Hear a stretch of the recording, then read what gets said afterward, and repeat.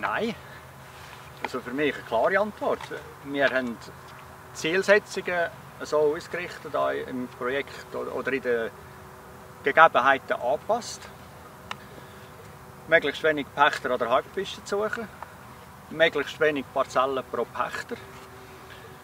Wenn es nicht muss sein, keine Fläche unter einer Hektar, außer dass sie irgendwie durch natürliche Begrenzungen, natürliche Begrenzungen wie Weg oder, oder sonst irgendetwas.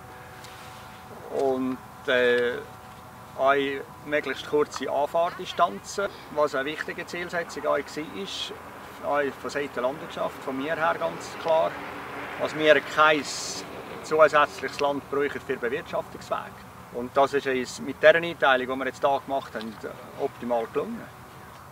Ist für mich auch, ich habe aufgeschrieben. Nichts. Es ist eigentlich ideal abgelaufen. Man muss vielleicht aber auch erwähnen, äh, vielleicht im, Verhältnis, im Vergleich zu anderen Arrondierungen, die man vielleicht äh, in der Schweiz macht oder möchte machen. Wir sind natürlich alleinige Grundeigentümer. Wir haben eigentlich keinen zweiten Grundeigentümer müssen fragen, äh, ja, machst du auch mit oder machst du nicht mit und was kostet es und was komme ich über. Ich glaube, das ist sehr äh, ein zentraler Punkt.